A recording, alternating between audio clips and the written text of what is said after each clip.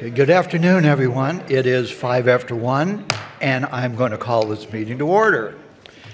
I'll now call to order the October 5th, 2017 regular meeting of the City of Rancho Mirage City Council, Library Board, Housing Authority Board, and the City Council representing the Redevelopment Successor Agency.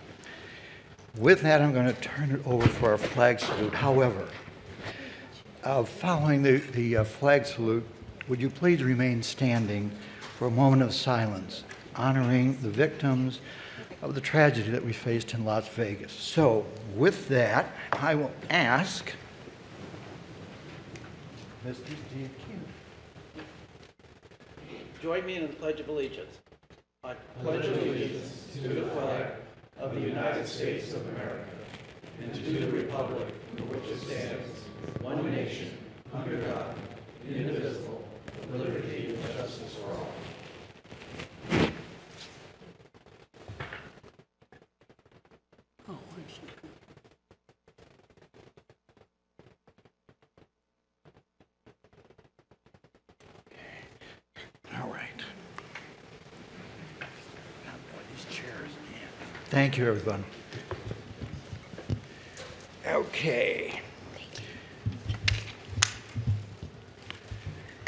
All right, maybe we have the roll call, please, Chrissy. Councilmember Hobart. Here. Councilmember Smotrich. Here. Councilmember Weill. Here. Mayor Pro Tem Kite. Here. And Mayor Townsend. Here. Thank you. Now we're going to move on to uh, presentations, and this week is Fire Prevention Week. And as we do every year to help raise awareness for this important event, we are presenting a proclamation to our fire department acknowledging Fire Prevention Week. This year, we have highlighting the importance of having an escape plan. The theme for this year's Prevention Week is Every Second Counts. Plan two ways out. Now I'd like to call the Rancho Mirage Fire Division Chief Eddie Moore and the other firefighters present to the front of the room to tell us about the importance of having an escape plan and accepting the proclamation. Thank you. I'll meet you down there.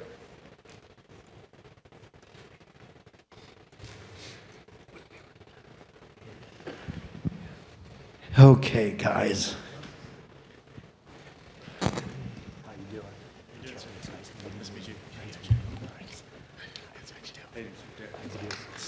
And you too.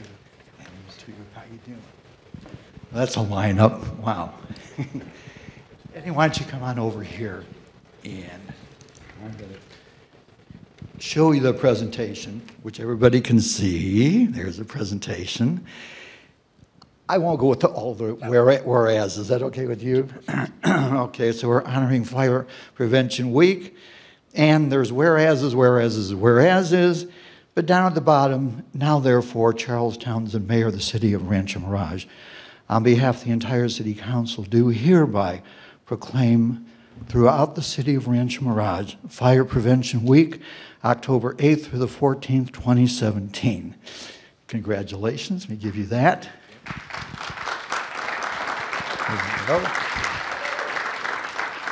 Why don't you say a few words? Would you give that to the guys? Perfect. Thank you, Mayor. Um, just like he said uh, earlier in his uh, beginning opening statements, is every second counts. Um, that second can be the decision between life or death. Um, with the all the magnitude of issues that we can have within our residences. Um, obviously, this year, I mean, we go from uh, Fire Prevention Week from our wildland side of things to now in October we do uh, mainly our structural firefighter side. Um, there are a lot of things in our residence that maybe we don't think about electrical issues, heating issues. Um, you know, this time of year we start heating up our, our homes with our furnaces. Those are, if they haven't been attended to or maintenanced over several years, um, those rat traps that are inside of there, the, the uh, dust and, and, and uh, other items that are in there, they can easily catch fire when we spark up that heater. Have those inspected by um, a professional company having two ways out of your, your, your residence. articulate that to your kids. Currently, right now, we are doing a mini muster um, here in the Coves with um, third graders. Uh, we feel that if we teach this information to third graders, that they're going to take that back to their parents. And maybe some of that stuff that we're teaching now wasn't taught back in the day uh, when we were younger. Um, this program never existed when I was in school, and I think it's extremely important that we are educating our young to have them be able to educate their parents, and, and, and that's for real statement. Um, having those exit plans, making sure that it's known to the entire family, um, making that uh, a post-it on your refrigerator, uh, a meeting spot at the mailbox, and, and or, or or wherever on your facility, but making that known to the entire family or guests that come in and, and, and stay for a weekend. So, um, thank you, Mayor, uh, for the proclamation. Uh, it means a lot to us. Um, I know uh, the guys over here to my left um, have done a lot of work in educating the public and handing out flyers and, and answering questions as we can. Please feel free to continue to do that uh, for all the residents out there. If you have any questions, call the fire station and, and we can either get you the answer or we'll route you to the, to the right place to get the right answer. So thank you, Mayor. Anybody want to introduce you guys? Well, no, you do it. Your crew. Hi, good morning, guys. Uh, this is we're the crew from Station 50, just right down here on uh, Highway 111, across the Thunderbird. Uh, I'm Derek Gonzalez. I'm the engineer there at Station 50. Uh, I've been there for two years. Came over to Rancho Mirage from the city of Mead Valley, and just uh, so you guys know, I've, I've worked. I've been a fireman for about 16 years, 10 of which with this department, and I've never had the opportunity to work in a city that I felt was such a great community influence. I really feel for the first time in my career that I am uh, really part of the community. So I'm happy to be here in Rancho Mirage, and thank you guys for the proclamation, and thank you for having us.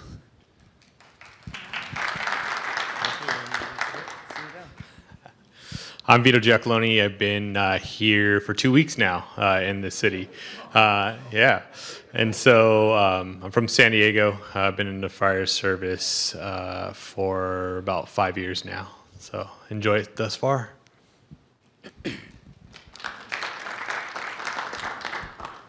Uh, Tim Anazola. I'm one of the uh, paramedics here for Rancho Mirage. Uh, I work uh, both on the ambulance and on the fire engine, um, providing both fire, rescue, and uh, paramedicine for the citizens.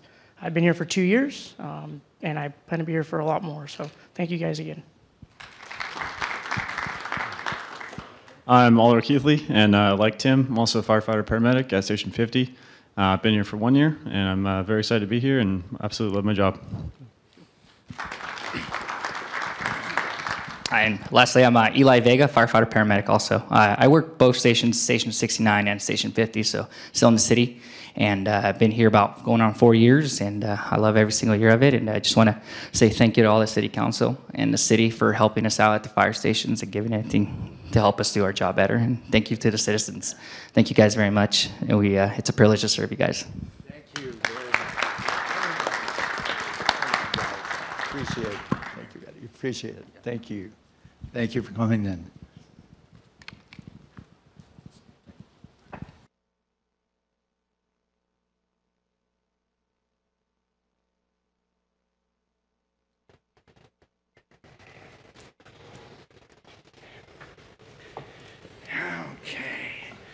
It's always nice to know we're in such good hands with these guys, believe me. Okay. All right. All right, now we're going to move on to the non-agenda public comments. And this is the opportunity for the public to speak on items not on the agenda. And as a reminder, please limit your comments to three minutes. Please begin by stating your name and city of residence. And I do have a few people who would like to speak. Alan Worthy.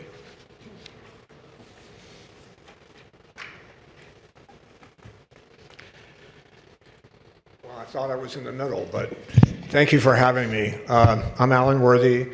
Uh, I'm here with some big and unfortunate news. Uh, this is a copy of the press release that I circulated to the Desert Sun and to the uh, news affiliates here. Uh, I, Thomas Allen Worthy, actor, director, producer, will personally appear at the Rancho Mirage Council meeting on Thursday, October the 5th, to demand the resignations of the following parties at Eisenhower Medical Center. President and CEO Aubrey Serfling, Executive VP COO Martin Massicelio, pardon the pronunciation, it's not correct, Chief Counsel Michael Appelhans, and Director of Risk Management Celine Kaiser. I will also demand that the Board of Trustees et al. be reshuffled. Please note that third party attorney Phil Weiss has been escalated for trial at the California State Bar. Uh, the crux of the matter is this letter sent to me by Celine Kaiser, the Director of Risk Management, and the last sentence reads as follows. We request that you do not call, come to my office, the rehab clinic, or send any for, uh, additional documents with regard to this matter. Well, needless to say, that led to a host of problems, uh, not the least of which is that it's illegal. It's one thing to defend the hospital, it's quite another to break federal laws in so doing, which is what they have done from day one, and it continues today. Uh, proof of their MO is when the Desert Sun finally covered something negative with regard to Eisenhower. Hospital sued over alleged sexual assault. Uh, the newspaper bothered to cover this last June, but what's pertinent is the first paragraph. Uh, the lawsuit states that saying that Eis- the Rancho Mirage Hospital failed to act responsibly. Well, that again seems to be their modus operandi. Uh, this insurance company nationwide was involved in this nightmare that I have been through. And because of Ms. Kaiser's letter and Chief Counsel Michael Appelhans shutting me down, uh, I have just last week finally received the smallest of settlement. So, in other words, you know, they blew off, blew me off for so long, they ran the statute by failing to cooperate. So they have also ruined my credit, and they've also themselves not been paid. The doctors haven't been paid. Uh, this is not what we expect from Eisenhower. I don't have to say that you know, I'm preaching to the choir at this point. This is not what we expect. It's not what we respect from our world class resort city, Palm Springs, as we all know, gone over the third world cliff. And as I'm trying to track down my stolen Mercedes, and I was in that haze, you will all recall, I believe, between here and Cathedral City, where my car was towed, and the corrupt city of Palm Springs, I spoke to Lieutenant Julio Luna, and he said, Mr. Worthy, didn't you say you were at Eisenhower? And I said, yes. He said, the crime of fraud took place at Eisenhower. So I have con- constantly and had to continually trace it back to Eisenhower to no avail. So I've lost my Mercedes, paid for, and I've lost my home with a paid for loan because they foreclosed on the lien, which I could not pay after this travesty that took place. The only bank account I had left was frozen. Okay? This is not okay. I'm demanding for our all own good that they all resign, uh, and I will continue to appear here once a month until they do so. Every one of the people that I named off in closing on this press release, I have either dealt with, who have screamed at me and slammed down the phone, if you can believe it, or chosen to ignore my phone calls. That would be Mr. Appelhans, who again is in front of the bar. So I do appreciate your time and your support that I have felt here over the last couple of years as I've been couch surfing, renting a room, and now I am once again homeless. Thank you. Thank you, Ellen. Next to speak will be Evelyn Green, please.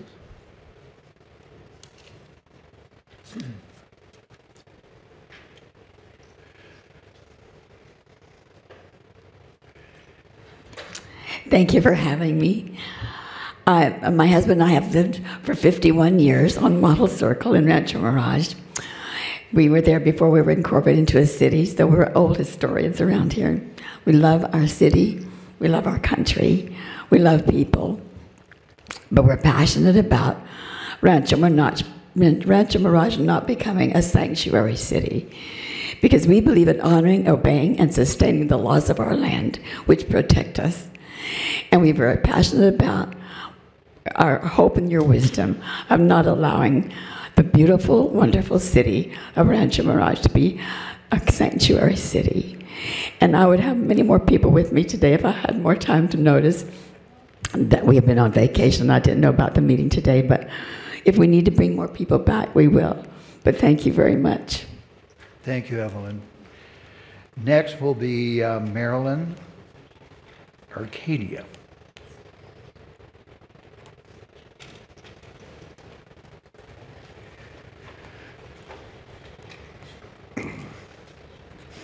Hi, Marilyn. Hi, Good afternoon, City Council. Um, I'm here with a good story. Um, I am an animal advocate, as I think most of you know. On Sunday night, there was a dog that was barking. It started around uh, maybe 3 o'clock in the afternoon, and I live right by the wash in San Jacinto Villas. It was barking constantly, and so I figured it was in someone's yard. And as uh, the barking continued, it proceeded to move down to the right as I looked at the wash, down to the right. So now I'm thinking this is not in someone's yard. Um, I had dinner over at Mary Lou's and I got a knock on the door saying, Marilyn, this dog is somewhere down in the wash. It's caught and, and can't get out. And to make a long story short, it was Sunday, so I called Animal Control, which connected me to Riverside. Riverside called me back. We had a discussion. They determined that the dog was not hurting, so they would bring a um, humane trap out the next day, Monday. Two days later, I was driving, I was on patrol in our, one of our cop COP cars, and I was on San Jacinto heading to the car wash, and there was a dog, a big brown dog, and he was crossing San Jacinto and going into the empty lots. Um, you could tell that he was in distress. I proceeded to call code enforcement right away. I told them the situation, and then when I got to the wash, I called, I um, emailed, followed it up with an email. I had the cop car washed, the beautiful, by the way, car that we appreciate and prou- proud of, and we thank you for. Um, that was about 20 minutes. When I came out of the car wash, there were not one or two, but three code enforcement vehicles. All three people were out on the street. Two were parked on San Jacinto. One was pulled over on 111, and they were out there with catch poles. Now, I don't know if they were able to catch the dog or not, but I want to tell you this is what our city does. This is what we follow through. As an animal advocate, I cannot tell you how pleased I was to see the action that was taking place so quickly. So I want to thank you. I want to thank you for providing us with those kind of people and with the equipment to do it.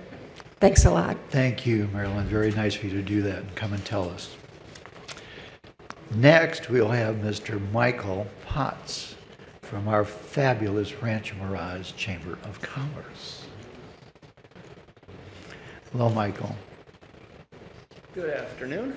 Good afternoon. Wanted to give you an update on several things that are happening at the Chamber of Commerce. First of all, the Taste of Summer, which has uh, concluded for this year, the second year we have done this with restaurants in Rancho Mirage. We sold over 1,600 wristbands to people to go out to the local restaurants and sample drinks and appetizers and desserts. And all of the proceeds, over $16,000, went to the local charities. So that's a great, great event, and we're looking forward to doing it again next year. We've spent the whole summer working on a new project that we're calling the Rancho Mirage Chamber Block Party, which will be held October 24th from 5 to 8 in the Rancho Mirage Chamber parking lot between there and Perch. We have local restaurants, we have vendors, we have lots of fun. We also have a dog costume contest with the proceeds going to Animal Samaritans. So we hope that we can see a lot of you there. That should be an awful lot of fun. Also, please mark your calendars for January 29th. That's going to be the Rammy Awards, which will be at um, the show at Rancho at um, Agua Caliente. And this year we are uh, changing things up a bit. We're going to be naming the Distinguished Citizen Award after a very prominent local uh, distinguished citizen. So that will be a lot of fun, and hope you can be there for that. On the 25th of the month, uh, of this month, we're going to be having our third Business Over Breakfast event, which will be at Cambria on El Paseo. Uh, they've been very, very successful for local businesses to learn different things. Um, this it starts at 7:30 in the morning, and this one, and amazingly enough, this was planned before this past weekend. But it's the topic is active shooter: how to protect yourself, staff, and customers. So we uh, highly recommend any businesses or individuals that want to get some information to come out to that. Again, 7:30 uh, on Wednesday, the 25th. Also, in the afternoon of the 25th, from 5:30 to 7:30, we're partnering with Thousand Palms Chamber of Commerce, and we're going to be doing a mixer at the Rancho Mirage High School in their culinary department. And culinary arts program is is doing the food there. It's going to be an awful lot of fun tasting some of the food that the students have prepared. So if you have an opportunity to come out to that, that would be great as well. Uh, also, we've been averaging new membership it, between eight and 10 new members every month for the year, so that's been great. And so the chamber is growing leaps and bounds, and we're looking forward to continuing that. If anybody has any questions, I'd be happy to answer them for you. Well, that's all because of the wonderful leadership, Michael. What can I tell you? It's the membership, You guys are for doing sure. great. Really, very proud of you guys. Thank you. Any questions? Anybody have any questions of Michael? Thank you very much. Thank you, Michael. Appreciate that. Next, we have Dr. Dubreuil, like to speak.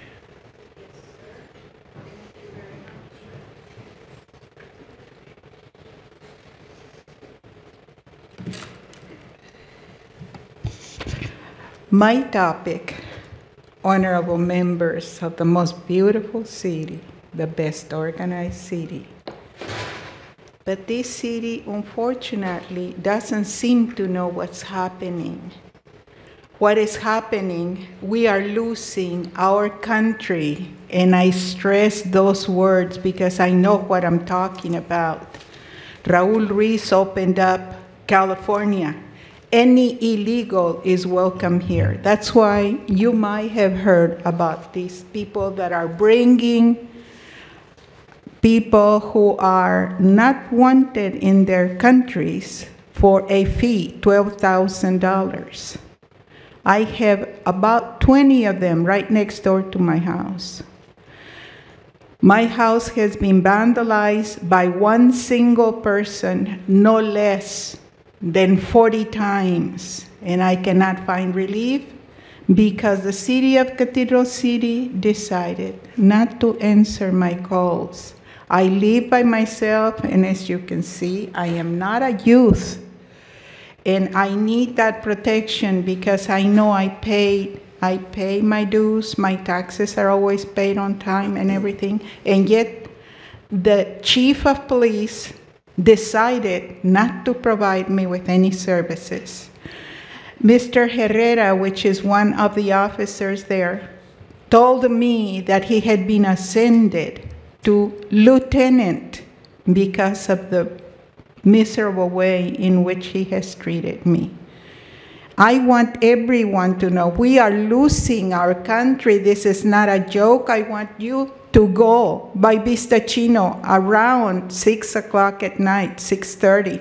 You'll see one car after the other. They don't even stop for the signals because they don't have to. They have VIPs in their cars, all these illegals. One car stopped and insulted me in an awful manner just two days ago because I was outside of my house. Please look into it. We have a great country and we want this country to continue to be. We're not handing out California to any illegals. Thank you very much. Thank you, dear. Anybody else in the audience who did not fill out a card who wishes to speak? You can come up now if you want. All right, seeing none, then we will move along. Now we'll move along to council comments, and I will start with Mr. Richard Kite. Thank you, Mayor, and uh, good afternoon, everyone. And The season has certainly begun, and one of the best events that's coming up shortly will be the Rancho Mirage Art Affair. This is the 17th fair uh, that uh, we've had in a long time, as we've been one of the major users of the park. And on November 4th and November 5th, that's Saturday and Sunday, we'll have the affair. Uh, This is really uh, to kick off the the Valley's festival season. We're going to have each day open at around 9 o'clock in the morning, and there will be about 75 artists that will be showing their wares. On both days, we'll have entertainment in the amphitheater beginning at 2 p.m. On Saturday, we're going to have Chase Huna, who will be on his uh, saxophone, and then Saturday afternoon, the Le- Leo Taza band will play at 4 o'clock. On Sunday, the lineup will be the Smooth Brothers, followed by Jose Neto Band. And of course, uh, individuals can bring chairs if they like. Uh, they will be able to sit up on the lawn using blankets or their own chairs. So we'll have chairs there for individuals. Food and beverages will also be available for purchase throughout the day from Wally's Desert Turtle, Acqua Pazza, uh, or Aqua California Bistro, uh, Brandini Toffee, E&E Pals, and there'll be beer, wine, soda, and water available through the Ranch Mirage Rotary Club. So as usual, the art fair is free and parking also is free. So we look forward to having you all come out. It should be a great event. This is the 17th and should be the best one of the of the group and we're certainly going to have a great opportunity to see entertainment on the amphitheater. So come out and have a great time. Remember, that's Saturday and Sunday, and that's uh, November 4th and 5th. Thank you, Mayor. Thank you, Richard. Dana? Yes, just, just uh, briefly, I wanted to uh, commend our road surfacing crew who have been resurfacing our, our roads over the past uh, couple of weeks. Uh, I think they've done a marvelous job in uh, keeping traffic moving and the road surfaces. Uh, well, as somebody once said, when you leave Rancho Mirage, uh, you know it. And that's because of these of the road surfacing ingredients we use. But the crew that's been doing all of this and keeping traffic under check and all of that uh, certainly deserve uh, commendation, Mr. Mayor. Thank you, Dana. Ted, your turn. Thank you, Mayor. Uh, yesterday was um, a lot of fun and one that we look forward to every year. Uh, maybe some of you were there. I know a number of the people from the city. Uh, and it's uh, Coffee with a Cop. And it took place uh, at Starbucks at the Rancho Las Palmas Shopping Center. Uh, a number of the officers were there Lieutenant Shields, Sergeant Myers. And they're just a fabulous, fabulous group of people. We're very fortunate. Uh, law enforcement that are assigned to Rancho Mirage, indeed, just like the fire department said before, uh, they feel they're part of the fabric of the city. And indeed, that's the way we feel about them. Uh, so we're most appreciative for their dedication. Uh, also, yesterday, uh, I'm pleased to say that uh, Councilman Hobart and myself and the Director of Economic Development and Marketing, Sean Smith, uh, met with the Westin Hotel, and we were most pleased to be able to announce that we have agreed to extend our, uh, our Rancho Mirage Golf Club arrangement for an additional two years. Uh, one of the great benefits, of course, of uh, our local uh, owners is that they have a three day advanced reservation privilege versus the rest of the public or non Rancho Mirage residents of four days. So it's a great benefit. Uh, our golfers are appreciative of it, and uh, uh, we're pleased with the relationship uh, with the uh, Westin Resort. Uh, by now, a number of you have received the Rancho Mirage Fall um, Rancho Mirage Insider mailing in your mailbox. And by the way, congratulations, Sean, on the great job that you and your staff did. It just looks terrific. Uh, and it focuses on the uh, wonderful outdoor activities available in our city. Rancho Mirage prides itself on the many great amenities that we have, and after a long, hot summer, we finally are making the transition to the cooler fall temperatures. Depending on your pleasure, there are several parks to choose from. Rancho Mirage Dog Park will be closed during October, but uh, for maintenance, but, but again open in November for you and your four-legged friends. The community park offers tennis, pickleball, basketball, racquetball, exercise stations, and plenty of playground equipment for the children. Wolfson Park, the Cancer Survivors Park, Blixseth Park, and Magnesia Falls Mini Park are great opportunities for a more sincere, serene experience. Speaking of serene experiences, Sunnylands Center and Gardens offers one of the best.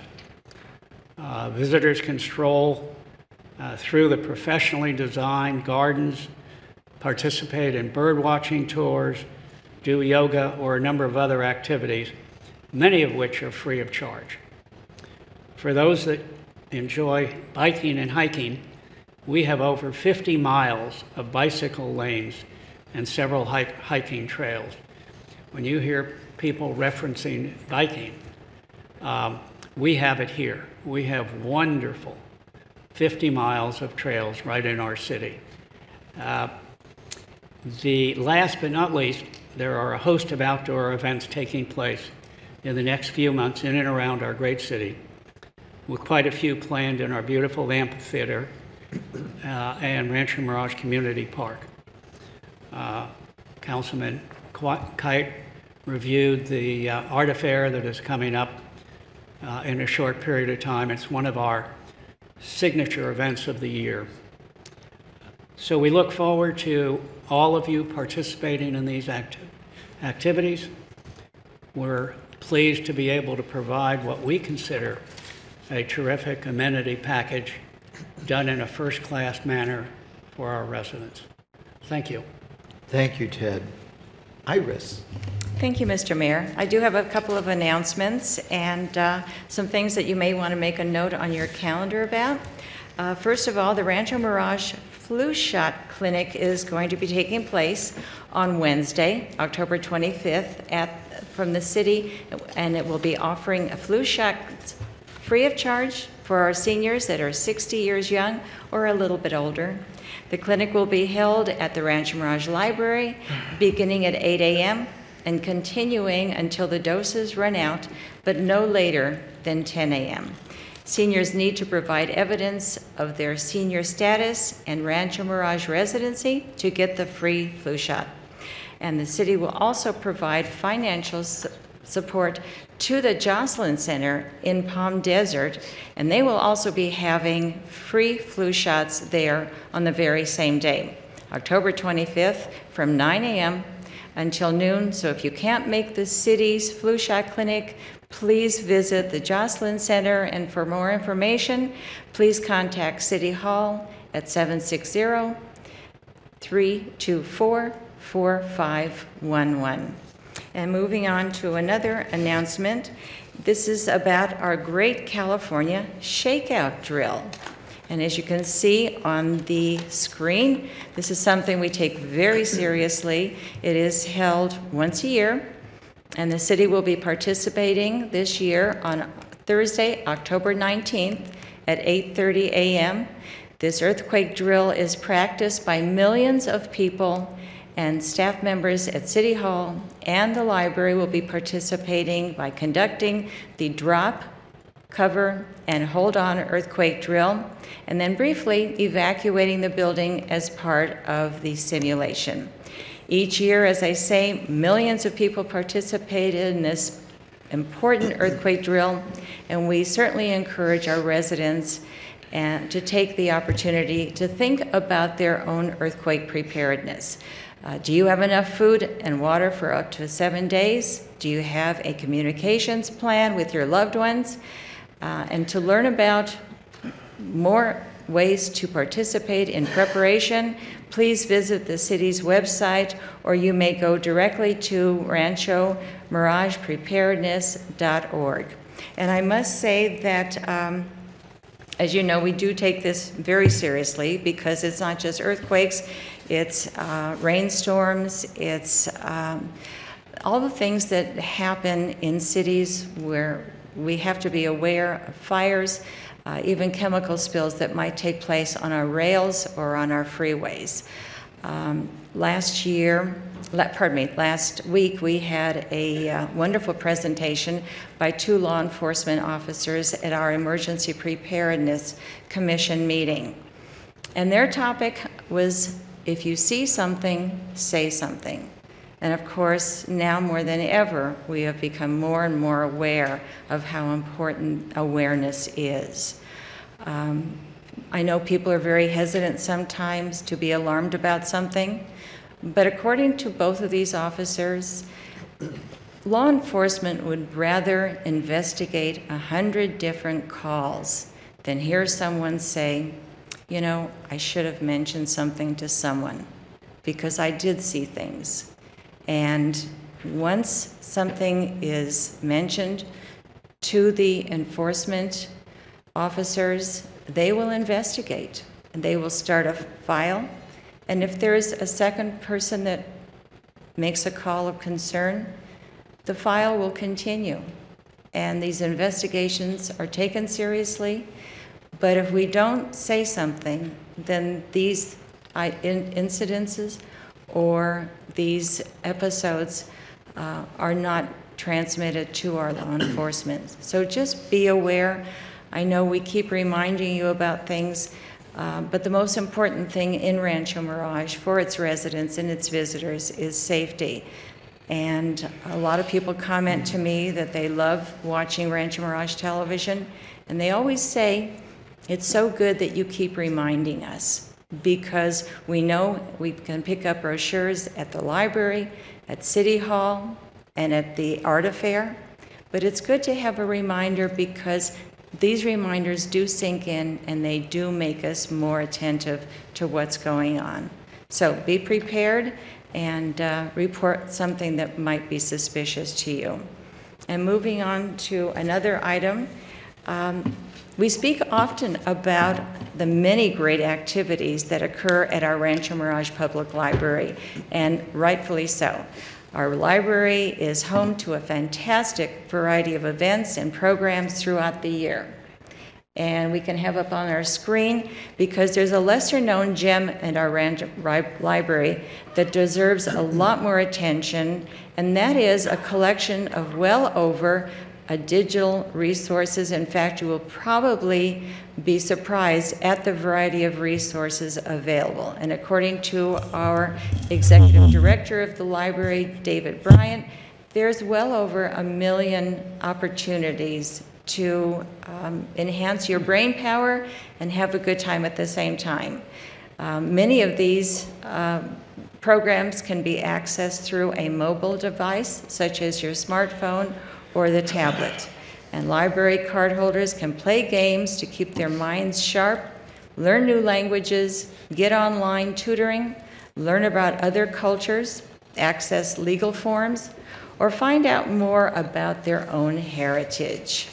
So, uh, one can also search newspaper articles, access ebooks, and e audiobooks, magazines, and even movies. So if you haven't done so already, I certainly encourage you to explore these resources, and they're all available with the free library card. So for more information regarding digital resources at the Rancho Mirage Public Library, please visit www.ranchomiragelibrary.org. And should you have any questions, please feel free to contact the library staff. They are very friendly, they're very helpful, and they'll lead you in the right direction, whatever your questions might be. 760 341 7323 is their number. 341 7323. And we hope you'll take the opportunity to enhance your brain power and have fun while you're doing it. Thank you so much, and thank you, Mr. Mayor. Thank you, Charlie- Iris. Charlie, Yes, could I- sir. Could I just add Yes, a sure. PS to mine? I just wanted to reemphasize what Ted had talked about. We um, met with the Westin people, as he indicated, and we have uh, renegotiated the golf package uh, that the members of the Rancho Mirage City Golf Club uh, can have if you're members of the Rancho Mirage City Golf Club, which you become by uh, coming to City Hall and registering for it. And uh, that one of the great advantages, probably the biggest advantage of the package, is that if you're a member of the uh, Rancho Mirage City Golf Club, you can make reservations four days in advance for your tee time. The rest of the public can only make it three days in advance. So we get one extra day on all of the public. And for those golfers who uh, are, generally speaking, interested in the time and where they, what time they tee off on a given day, that extra day is an extremely important uh, part of the package. And I just wanted to emphasize that so that uh, our residents would have uh, greater incentive to join our golf club. Thanks. That's a very good point, Dana. How many years has that been going on? I forgot. Goodness gracious, it's, uh, goes way back to back. around uh, 06, 05, something Right, like that. Right, yeah, yeah. Really great, great program. Well, I'm going to go back to Iris and and dovetail off of the, the, uh, the library. And I'm going to announce the new guide of programs and exhibits for the library.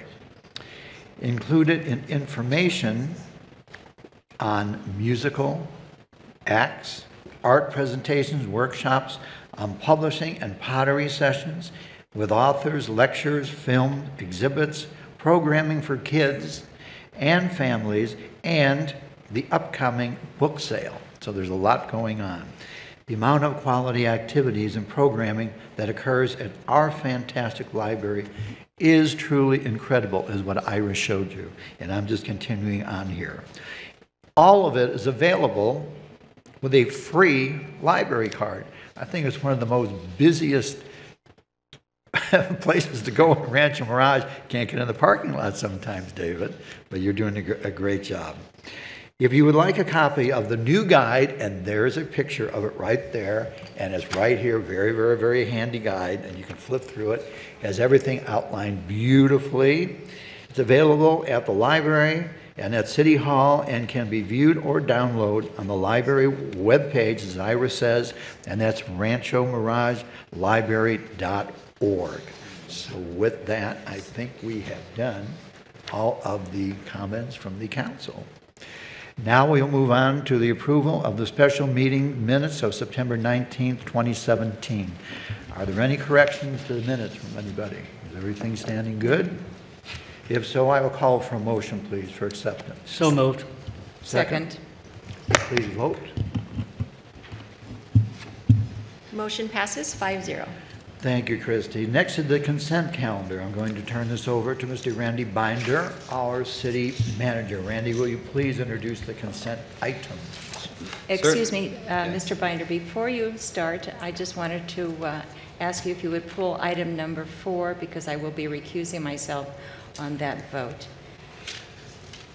Certainly, so I'll go through the other eight items on consent, and then you. you can vote separately on that. Very good. Thank you.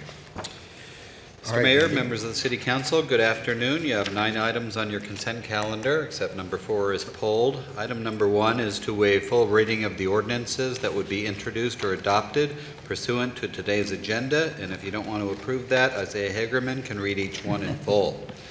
Someday, someday, I'm telling you, he's going to do it. Well, it's up to you, because you're, you're voting. Item number, t- item number two on your consent calendar is second reading of a uh, ordinance that would amend the Monterey specific plan, removing 10 acres from the specific plan area. This is north of uh, Versailles. Uh, Mina Dukic made the presentation at your last council meeting. 10-acre, single-story office, professional, professional medical office campus. Item number three on your consent calendar is second reading for the general plan and zoning map amendment for the same project, changing the zoning from RM to office on the same 10-acre site. Item number four on your consent calendar is pulled. Item number five on consent is second reading of the Commercial Preferential Parking uh, Program in Title 10, that's Chapter 10 of the Municipal Code. Uh, Jeremy Gleim put this together. Uh, It would allow special parking for employees that work in businesses along Duncan Emmons Road, the frontage road, while leaving spaces available for customers. That's second reading. And then item number six on your consent calendar is a um, requirement for a debt, debt management policy per Senate Bill 1029, and this would be a joint resolution of the City Council and the uh, Board of Directors of the Housing Authority, or the council acting in the capacity as a housing authority, and then also the council acting in the capacity as the successor agency to the former redevelopment agency, and the library board as well, and the Community Services District and the Joint Powers uh, Financing Authority, collectively referred to as the Board of Directors and affiliated agencies. Item number seven on your consent calendar is an extension of completion request for track 30150. Bill Enos, our city engineer, put this uh, together. This is a tract on the east, on the east side of uh, Vista Dunes, just north of um, the Armenian Church. Uh, The developer is in the midst of doing the public improvements and the private improvements. If you've driven by, you might see this new street there and new landscaping along uh, the frontage on Vista Dunes as well as Monterey Avenue. I think that's been started already as well. Uh, This would allow the applicant to extend the completion date uh, to April 9th, 2018. Uh, Mr. Enos feels that it'll be done well before that, but that would allow plenty of time to get it completed. This is three estate, residential estate lots on 4.4 acres in the RE residential estate zone. That's the land use pattern in that neighborhood. Uh, Item number eight on your consent calendar uh, is a request from Library Director David Bryant to close the library for six days uh, to accommodate the Ranch Mirage Writers Festival. That would be from January 22nd through January 27th. That's a Monday through Saturday, January 22nd to the 27th, 2018. Uh, It would close the library two days before the Writers' Festival starts and keep it closed one day afterwards to allow for staff to adequately, basically transform the library into a world-class uh, venue for the Writers' Festival. I believe this is the fifth annual Writers' Festival that would be held at the library.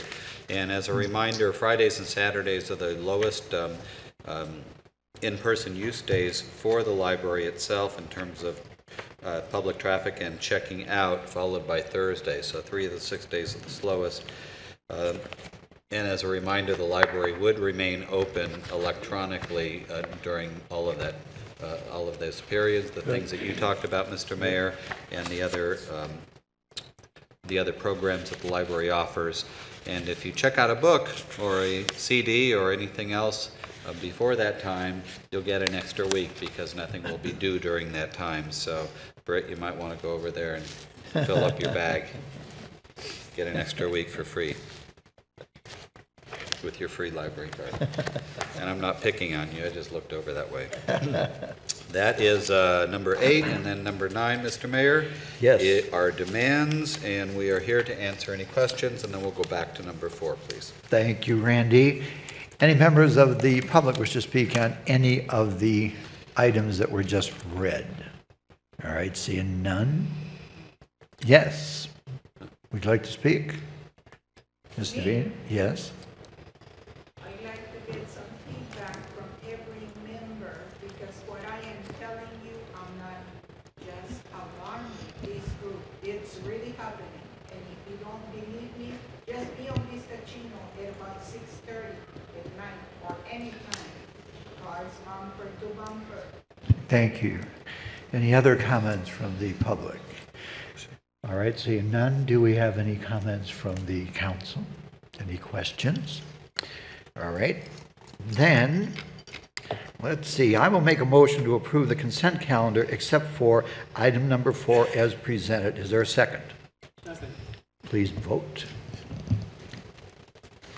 Mr. Mayor, motion passes 5-0. Very good. Randy, would you please introduce item number four? Thank you, Mr. Mayor. Item number four is a uh, request for the um, second reading of an ordinance that would establish a community choice aggregation program pursuant to the Public Utilities Code uh, for the city of Rancho Mirage.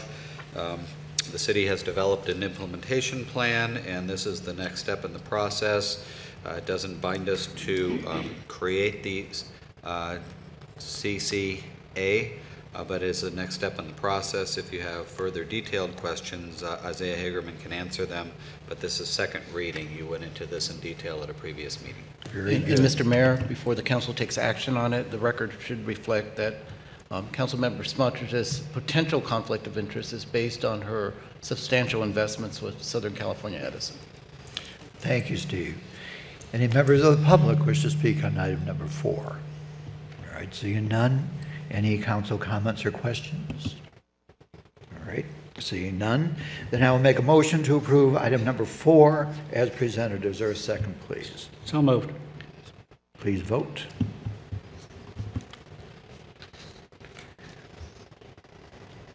Motion passes 4-0. Thank you, Chris. Moving on, is there a CV Link update? Thank you. Nothing today, uh, Mr. Mayor. Thank you, Dana. Now we'll move to public hearings. The first public hearing is for CFD Annexation Number 173. Britt Wilson will present the staff report. Britt, it's all yours. Good afternoon, Honorable Mayor and City Council. The uh, CFD annexation before you today is the standard process and procedures that that the city follows for all development within the city. This is a- the second and last step of the CFD annexation process. The first step was considered and approved by the City Council at your September 19th meeting. The territory proposed for annexation is located on the west side of Vista del Sol and east of Burton Drive, just south of the Betty Ford Center. On September 19th, 2017, the City Council did adopt Resolution 2017-32, the Resolution of Intention, which declared your intention to annex this uh, territory to the CFD district. As detailed in that resolution, the uh, petition or application, if you will, filed by the owner allows for shortening of time of this special election to expedite the annexation process and waives any requirements for notice, analysis, and arguments in connection with the election. As such, the public hearing today on this proposed annexation and the proposed levy of the special tax may take place at uh, one fell swoop today. Uh, So the city council will be conducting the public hearing today. City clerk, uh, uh, when I complete here, she can report on the uh, election results. At the conclusion uh, of today's public hearing, the council can consider the attached resolution which calls for the election, declares the results of that election, and approves the annexation of the territory to CFD number one. So with that, I will turn it over to the city clerk, and then it'll go back to you, Mr. Mayor. Thank you very much. Do any council members have questions of staff at this time? Richard? Brett? Mike? Brett, uh, I have a question regarding the uh, total fee, which shows on page 11-2, uh, 392.22 per house. Yes. Does that reflect in the calculations on page 1113? Under proposed tax, item number six? Let me get to that page. Eleven, thirteen. Um, Are you speaking, or where, are you asking, where is the three ninety-two twenty-two showing up on that? Is Yes. that- That would be on the page fourteen, actually. It's step six in the calculation process. And so uh, midway there on the page, under step six, you'll see residential, the incremental cost, admin charges, the total assessment, $392.22. And that is subject to an annual uh, reconciliation with past charges, and so it Right. gets adjusted every year, up or down. Okay, thank you. You're welcome. Okay. Mr. Mayor, may I Yes. read the election results? Yes, you may. Thank you. So the ballot for the sixth... Wait, Chrissy, I didn't open it to the uh, public hearing first. I think that's what I have on my agenda here. Is that, is that true, Christie? I'll read the election results as part of his staff report, and then you can go ahead and open the public Okay, hearing. okay, go Okay, ahead. so the, the ballot for the six eligible votes was received on September 25th, 2017, and was in favor. Therefore, all votes cast equal 100% of total eligible votes, and no protests were received. Very good. Thank you. Now then, I will open it to anybody from the public which to speak on this subject. All right, seeing none, do any members of the public wish to speak regarding this item? No, I will close the public hearing. Do any council members have any comments on this item? All right, seeing none, I will make a motion to adopt resolution number 2017-next in order, calling an election on levying a special tax within the area proposed to be annexed to the Community Facilities District Number One, annexation number 173, declaring results of the election, approving the annexation of the territory, and directing recording of the amendment of notice of special tax lien. Is there a second, please? Second. Please vote. Mr. Mayor, motion passes 5-0. Very good. We'll now move on to number 12, which is the public hearing for CFD annexation number 174. Mr. Wilson is back on deck. We'll also present the staff report. Good afternoon again, Honorable Council. Uh, I'll save the background on the uh, process of this since we just went over that. This particular territory proposed for annexation is located at the northeast corner of Dinah Shore Drive in Los Alamos. This is the Pulte Home Project, uh, of which you are all familiar. Uh, The, on September 19th, the City Council adopted Resolution 2017-33, its resolution of intention, declaring your intention to annex this territory into CFD number one. Uh, As detailed in that resolution, the petition or application filed by the owner allows for the shortening of the time frame, as I mentioned in the last staff report, so I won't repeat all that. So you will conduct the public hearing. Uh, I will be turning this over to the city clerk. She will report on the results of the election. At the conclusion of the public hearing, you may consider the resolution which calls for the election, declares the results of the special tax election, and approves the annexation of the territory to uh, Community Facilities District Number One. So with that, I will turn it over to Ms. Ramos. Thank you, Britt. So the ballot for the 132 eligible votes was received on September 26, 2017, and was in favor. Therefore, all votes cast equal 100% of total eligible votes, and again, no protests were received. Thank you, Chrissy. Thank you, Britt. Do any council members have any questions of the staff on this item? All right. Now I'll open it to the public hearing. Anybody wish to speak on this item? All right. I will close the public hearing.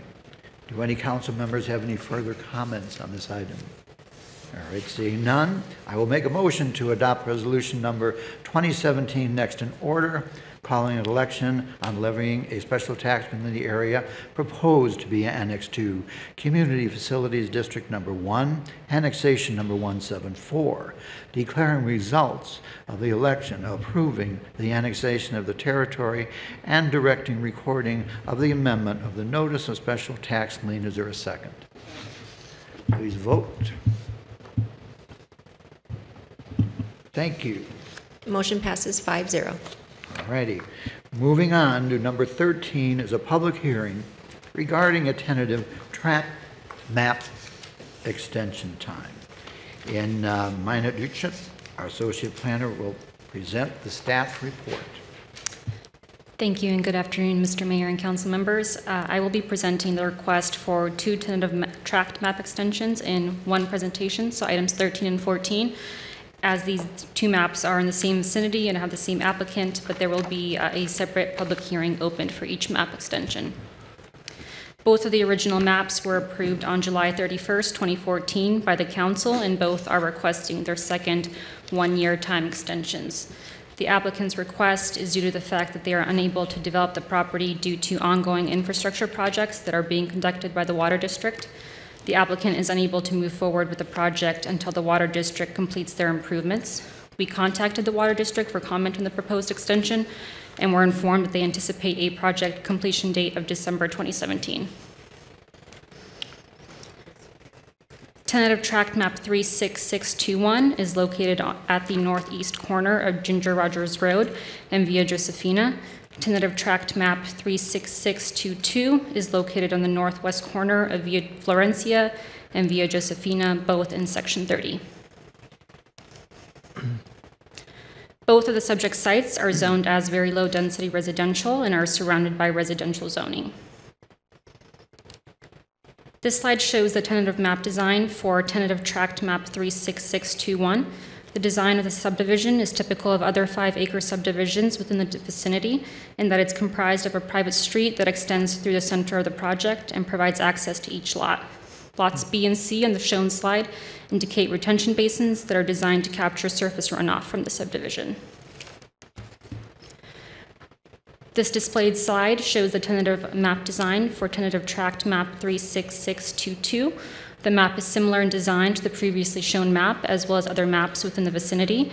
It's comprised of nine lots with a private street providing access to each lot. Lots B and C indicate retention basins that are designed to capture surface runoff from the subdivision.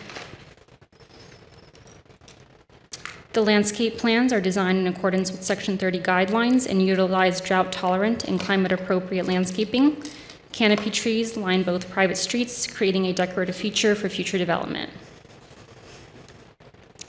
Staff has not received any outside correspondence or comments regarding the proposed extensions. Staff is recommending that the City Council approves a one-year extension of time for tentative tract map 36621 and tentative tract map number 36622, subject to the conditions and findings in the associated staff reports. That concludes my presentation. I'd be happy to address any questions. Thank you, Nina. Uh, Let me ask a question. What are the lot sizes for this project? They range for tract map 36621 from about 16,000 square feet to about 19,000 square feet, and 36622 are all about 15,000 square feet. Very good, good size. Thank you. Do any council members have questions of staff on this I have one question. Richard? The, um, the original date of approval on this project goes back to 2014, and, and we've had one extension on it so far, is that correct? Yes, uh, Mayor Pro Tem Kite, the original approval was for two years, and then they did a one-year extension of time. This is their second one-year extension, so they have one left that they are able to apply for. That's the current one that they're applying for right now, and after this one, then there are no further extensions? They have one more if this um, application is approved. Okay. And we're pretty well assured that the water situation will allow them to meet that uh, timeline? We're hoping so. They gave us a completion date of December 2017. Okay, thank you. Mr. Chairman? Charlie? Yes, sir. Uh, I'm wondering, Randy, uh, can anybody here remind me of whether uh, Ginger Rogers is intended to go straight through to Monterey or whether it doesn't go all the way through? Doesn't go all the way through. And where does it stop? Stops at uh, Via Josefina, and uh, then it goes north and south from there. Well, I'm, it stops at, well, it doesn't, I see. In other words, you're saying there is no roadway behind this project? Yes, that's correct. Right. And uh, Ginger Rogers stops right here at the beginning of this project? Yes. Okay. Thank you. Thank you. Any further questions of council? All right, I'll open it to the public. Any questions on this subject? All right, seeing none, I will call for a motion. Ted, would you like to make this motion, please? You're Well, invited. thank you for the invitation, Mayor. You're welcome. Uh, I'll make a motion that the City Council approve a one-year extension of time for tentative track map 36621, TTM2X 36621, subject to the conditions of approval and based on the findings and content in the attached staff report. Okay. Is there a second on this one? I second it. All right, also, I assume that number 14 was included in Mina's presentation of 13, so we're going to vote on 14 again also, right? So it's 13 and 14. So Ted, I need another motion, please. Well, Do we? Actually, it'd be better if you just did the uh, vote on this one motion and then have another motion for item 14. Okay.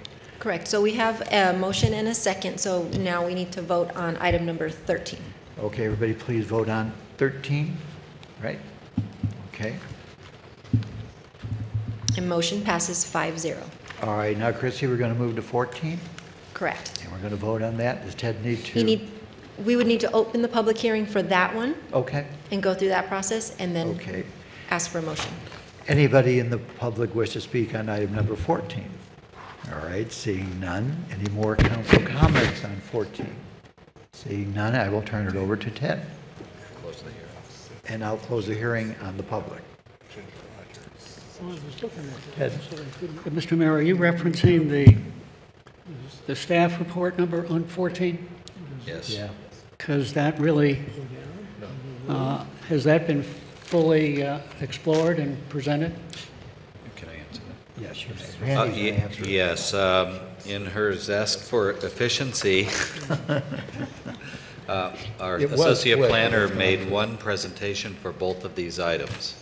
Uh, If you'd like to hear this particular one again, um, I'm sure she'd be happy to do it, but it's essentially a five-acre parcel into nine lots, and it's the second one-year extension. The original approval was three years ago. The approval was for two years. You've granted a one-year extension. This is the second one-year extension. The average lot size is 15,000 square feet, I believe, and Ginger Rogers terminates at the western boundary of this site. Well, I moved the previous question then. Are we going to vote on that? And I'll we make, voting on it, Randy? I'll make the motion Yes, unless the please. Director of Administrative Services would like to read it. Uh, Barring that, the City Council approve a one-year extension of time for tren- tentative track 36, 622, TTM 2X 36, 622, subject to the conditions of approval and based on the findings and contents in the attached staff report. Is there a second, please? Second. Please vote. Now we're moving to 15? Yep. Mayor Pro Tem Kite, would you please enter your vote one more time? And motion passes 5-0. Thank you. Thank you, everybody. We're going to move now to number, item 15. And item number 15 is a public hearing for zoning text amendment number ZTA 17001. Jeremy Gleim, Development Service Director, will present the staff report. There you are. Yes, thank you, You're Mayor. Thank you. Um, Before I start, I'd like to thank um, Mayor Pro Tem Kite and Councilmember Hobart for their guidance on this topic at the subcommittee level. I also like to thank Steve Quintanilla and his team for uh, his contributions to this, uh, to this proposed zoning text amendment. Uh, So with that, the purpose of this zoning text amendment is to remedy discrepancies that currently exist in the municipal code with regard to recreational vehicles. Um, Inconsistencies in the municipal code create enforcement challenges for staff, so when they are identified, we like to get them cleaned up as quickly as possible. In addition to that, staff would like to use this opportunity to introduce the term temporary occupancy vehicle as a replacement for the term recreational vehicle uh, because it covers a broader range of vehicle types. So just real br- briefly, I'll go over the three ordinances that comprise this proposed zoning text amendment. The first ordinance would repeal in uh, its entirety Chapter 10.74. A Um, little bit of history in 2002 and 2011, two ordinances were adopted that were intended to supersede Chapter 10.74. However, Chapter 10.74 was never formally deleted from the municipal code. And those two ordinances that were adopted um, basically superseded everything that was in Chapter 10.74. So the repeal of Chapter 10.74 would essentially remove all of the existing inconsistencies with regard to recreational vehicles.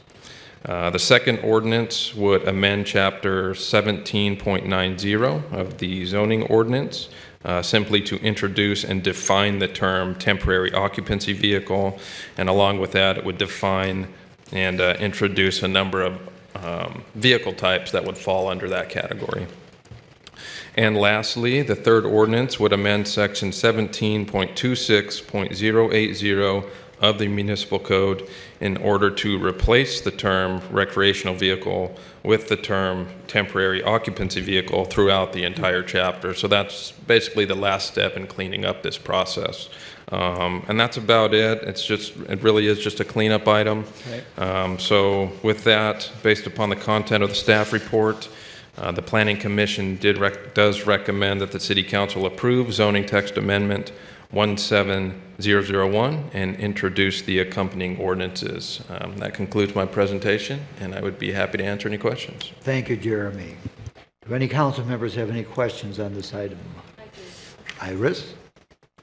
Okay. um, Jeremy, if you could perhaps go to page 15-5, number 5. Talk- And you can elaborate a little bit about, um, the- it says that TOV may be temporarily parked on public or private right-of-way, including a private driveway in front of residences for not more than 48 continuous hours for the purpose of loading and unloading. So that means somebody can have their vehicle parked in front of their own driveway for up to 48 hours, and that's permissible? Yes, that's correct, and that's in the current uh, version of the municipal code. Um, And again, just like it says, it's just to allow people to load and unload either prior to essentially going on a trip or coming home from it. Okay, thank you. Mhm. Okay. Any other further council comments? All right, seeing none, I'll open up to public hearings. Anybody wish to speak on this from the public? Come on forward. Would you come to Come the on. microphone, ma'am, please? Thank you.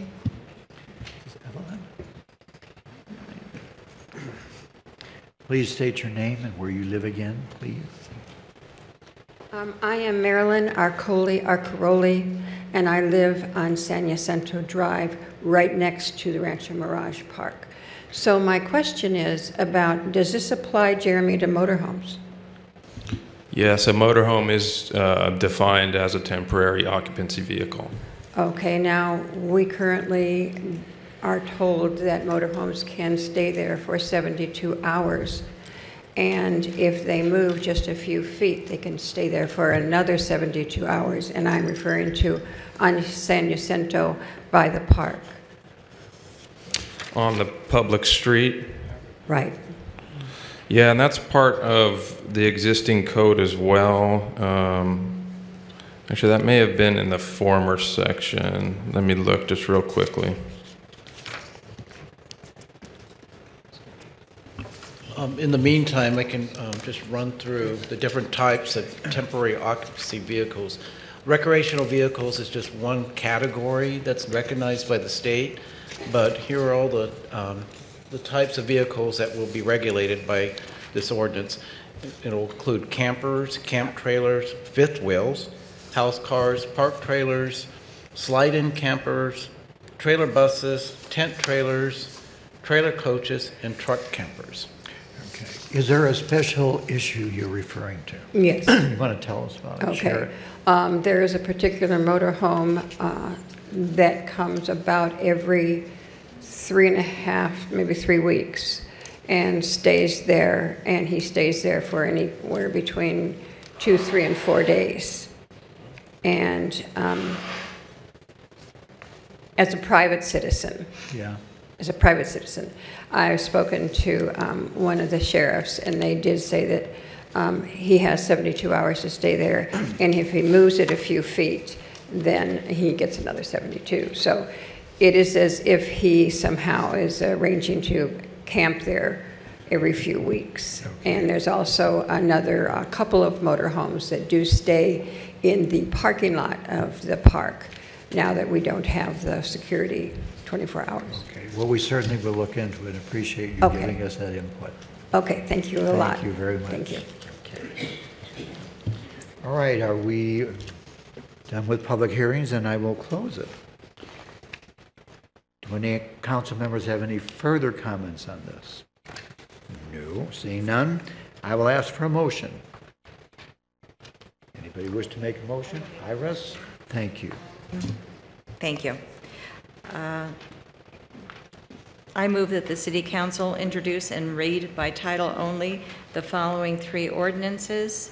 A, ordinance number, ne- uh, next in order, repealing Chapter 10 dot 74, uh, recreational vehicles of Title 10, vehicles and traffic of the Rancho Mirage Municipal Code to remove duplicative provisions from the municipal code.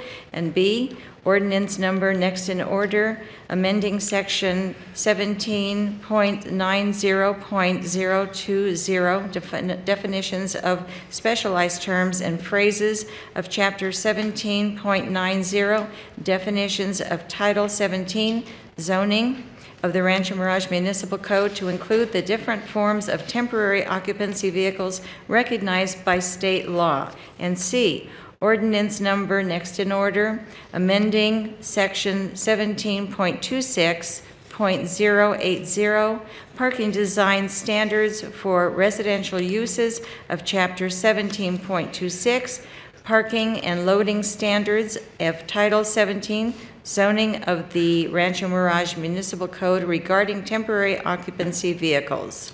Thank you, Iris. And we have a second, please vote. Motion passes 5-0.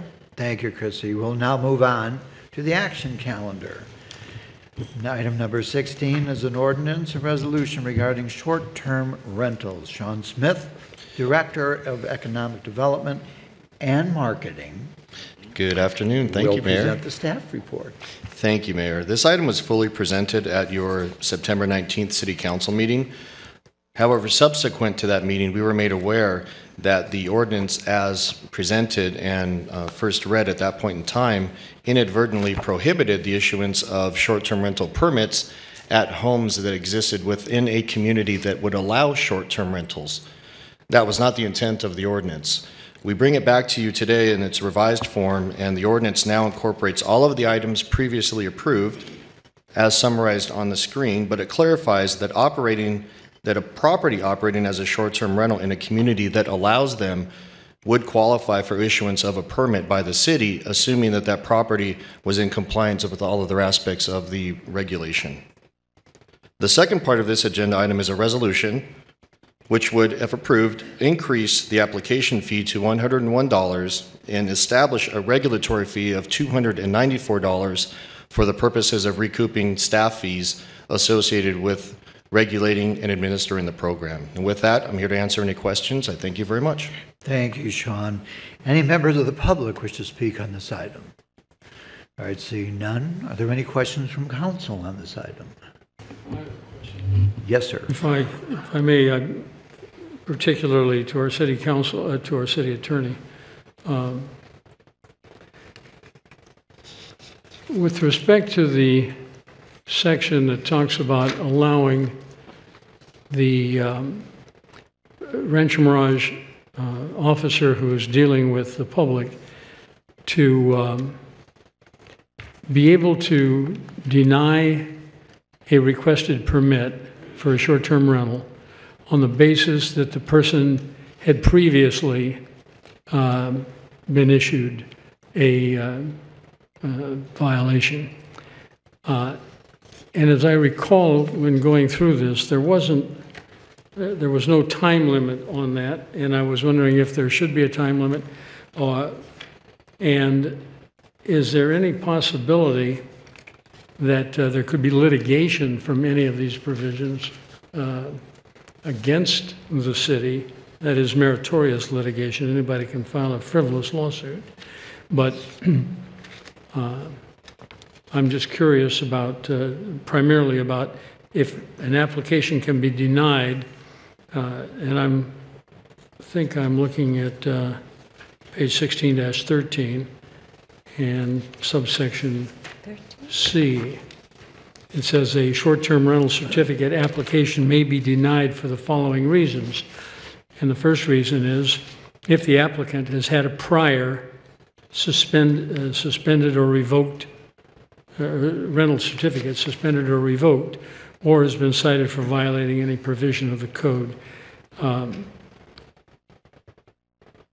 Is that a forever barring, or is that, um, uh, would, would that be considered overly punitive? Uh, I'm just a little bit It's, first of all, Curious. it's permissive because we use the term may.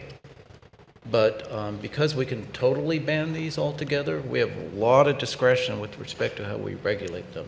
Well, but we don't have, we don't have a discretion to be arbitrary, and I Oh, know no. you know that. Yes. Uh, The may doesn't change anything, because the may says that the city clerk, uh, or the officer attending to the applicant, that that person may deny the application because the applicant had a prior short-term rental uh, violation. Um, I think we should have something in there that limits that, either a prior one in the last two years or five years. Uh, I mean, like, how absurd would it be for us to deny somebody an application, say, wow, you had one 11 years ago, uh, and so we're going to deny them that? Uh, It it just seems like it's arbitrary on our part, and if it's arbitrary, then I know that litigation can always follow. Uh, Dana, do you want to uh, pull it? Or do you want to make an amendment, or what? What should we do, Hmm. Steve? You can do an amendment Whatever if you you want. want. Want You can put a limitation on it. Oh, I, I'll be arbitrary, had a prior uh, short-term rental suspend, suspended or revoked within the past three years? He's saying five. Randy, what do you think? At least three. How about four? Four is good. How about four and a half?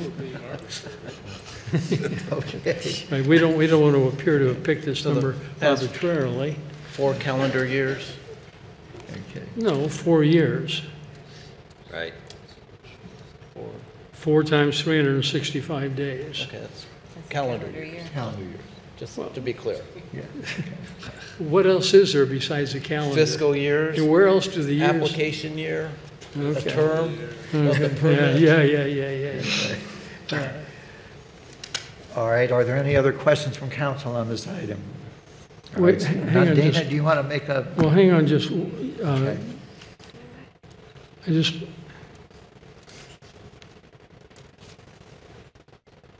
with respect to, um,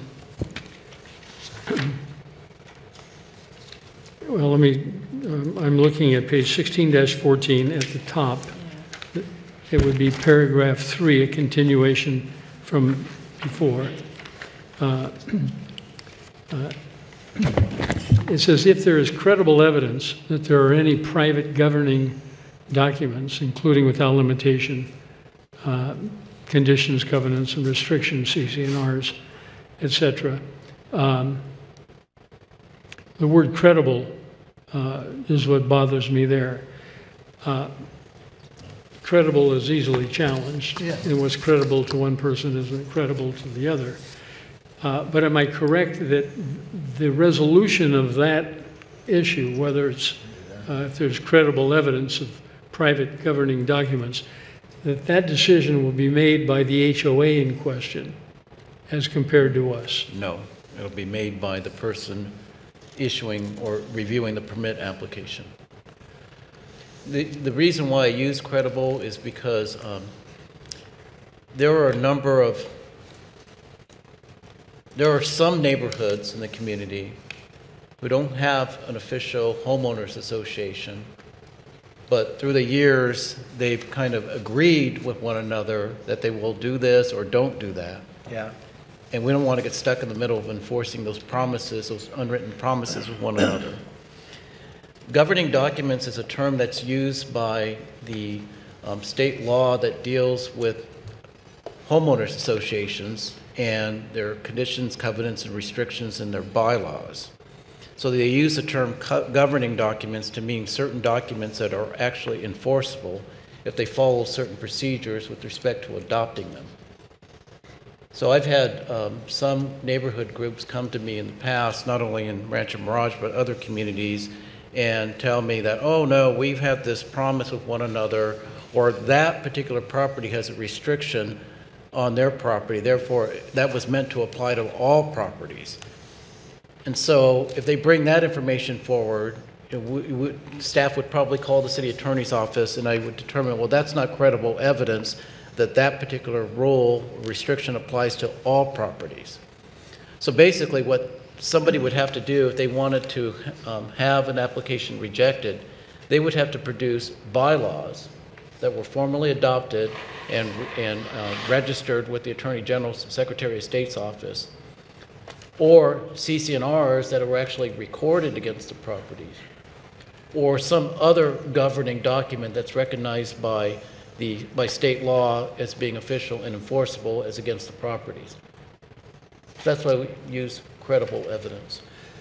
Well, I can understand the rationale for that, and I don't disagree with your explanation of it. Um, All I know is that at the end of the day, if the applicant who's denied claims that it's not being based on credible evidence, but rather on arbitrary evidence, looking at the same documents we're looking at, uh, how does that get resolved? It's just Well- we resolve it by our decision? Yes, yes. On uh, page 16-20, uh, down at C, down at the bottom under violations, it says, the subject is prohibited short-term rental use. If credible evidence is presented to the city after issuance of a short-term rental certificate, that there are private governing documents, including without limitation, CC&Rs that are valid and enforceable pursuant to that certain legislative act, as set forth in Civil Code Section 4000 et sequitur, which prohibit the use of the owner's single-family dwelling or condominium for short-term rental purposes as defined in this chapter. It says the owner shall have 30 days after being notified of receipt of such evidence by the city to provide written authorization from the owner's homeowner association that allows the owner to continue the use of the owner's property for short-term rental purposes. It sounds like in that situation that the HOA would be the one that's presenting the evidence uh, that could counter what the city was saying. And I'm just wondering, is that, is that right? Is that what we're Yes, attempting this, to do? this is correct. I mean, we may have a situation where somebody comes in and submits an application and nobody comes forward or we don't have any information in the file that there were any CC&Rs that restrict or prohibit short-term rentals. And then later on, somebody steps forward, the neighbor comes forward, go, wait a minute now. We have CC&Rs, or we just amended our CC&Rs. Allow it. Yeah, we, uh, to allow them, or no, no, to prohibit them. Maybe their CC&Rs are, are silent, so the following year, between, uh, during the next following year, the HOA adopts CC&Rs that prohibit them, and they come forward with them, and they present that credible evidence. And in that case, we don't want to have this long, drawn-out hearing. We want the ability to just summarily revoke the permit. Steve, uh, in that paragraph, again at the top paragraph on page 16-21, it says, "The owner shall have 30 days after being notified of receipt of such evidence by the city to provide written authorization from the owner's HOA that allows the owner to continue to use the owner's property for short-term rental purposes until expiration of the current short-term rental certificate."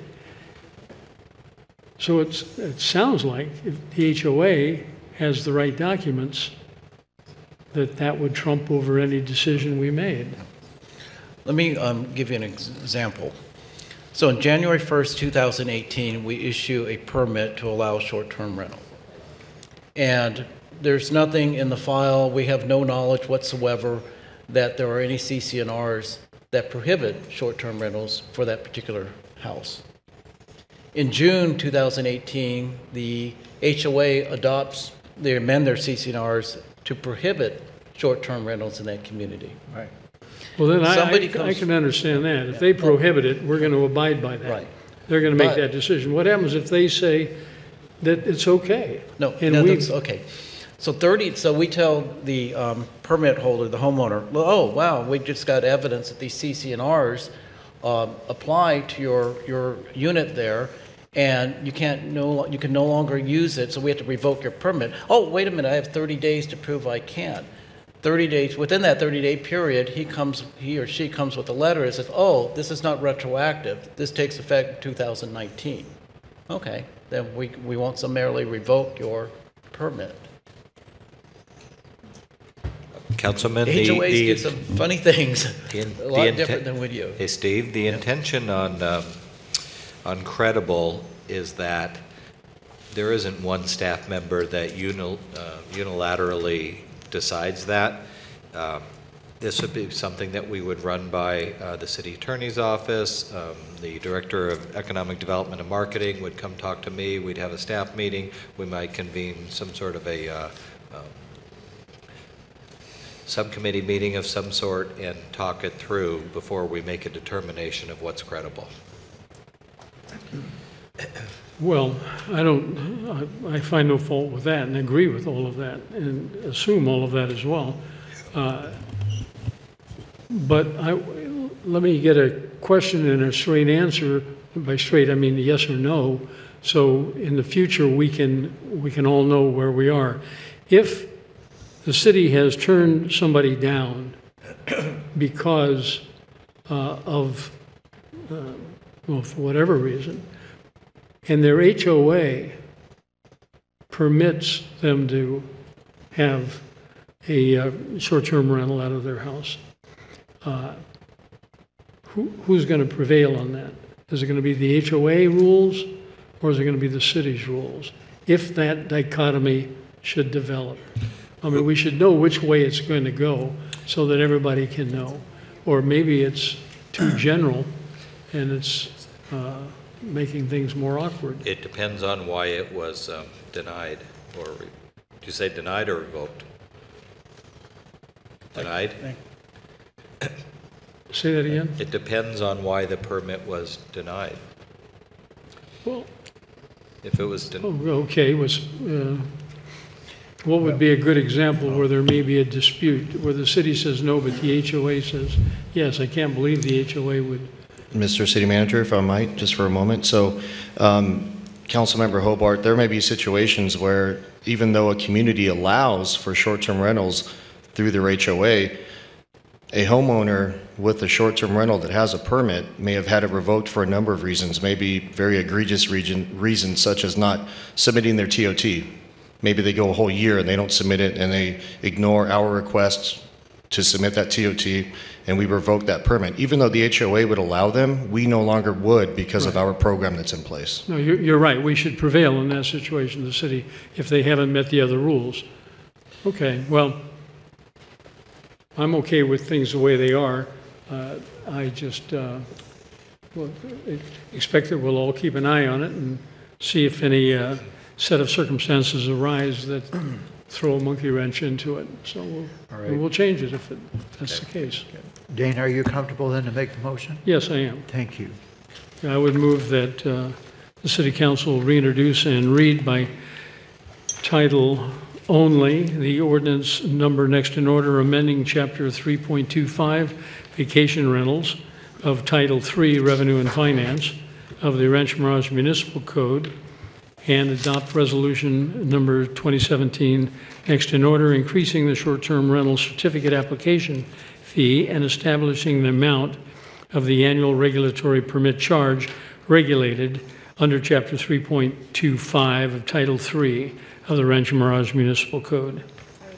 Does this include the amendment on page 16-13? C?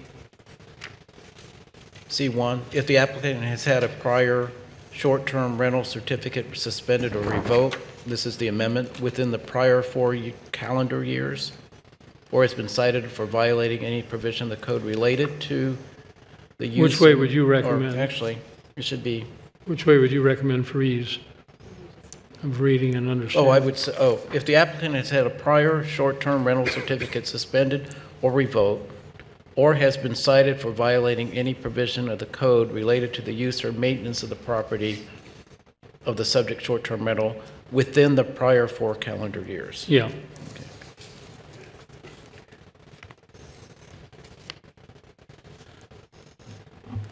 I I didn't put the word cap, uh, uh, the calendar in it, though. As, as the dispute rages on. Okay. All right, Iris, you seconded, right? Yes. All right, and everybody in, in sync, we will now call for a vote. Motion passes 5-0. Thank you, everyone. Next item is number 17 is a resolution regarding the Emergency Preparedness Commission. Britt Wilson, Managing Analysis, will present the staff report. Britt? Good afternoon, Honorable Council. The Emergency Preparedness Commission was established by the City Council in 1998 to effectively plan and prepare for emergencies such as major earthquakes, floods, extended power outages, and similar uh, disasters. Over the years, uh, or its main purpose is to prepare and train our city residents on how to prepare for a major earthquake and the aftermath of such a quake. Over the years, a medical advisor and a technical advisor position have been added to the composition of the commission. The medical advisor and the technical advisors are non-voting members of the EPC.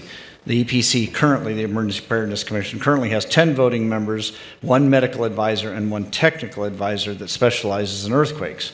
Uh, with the increasing amount of cyber attacks and the associated risk of those cyber attacks, the Emergency Preparedness Commission has uh, been studying and they are now recommending that another technical advisor position be added to the commission, which would specialize in cybersecurity. This new position, uh, as the other advisors, would be appointed by the mayor with the consent of the city council council.